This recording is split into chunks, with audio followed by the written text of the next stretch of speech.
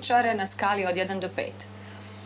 Dakle, e, Filip Vujanović standardno je na prvom mjestu sa prosječnom ocjenom 2,75.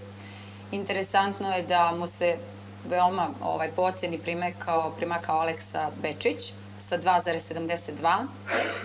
Milo Đukanović je uh, dobio ocjenu prosječnu 2,48, s tim što bih ovdje dala jedno malo pojašnjenje da ovaj, upitnicima kada se ocjenjuju to je ovaj, prosječna ocjena gdje su građani uglavnom upredjeljeni ili za jedan ili za pet. Tako da onaj pravi prosjek između ili, ili što kažu ili ga vole ili ne.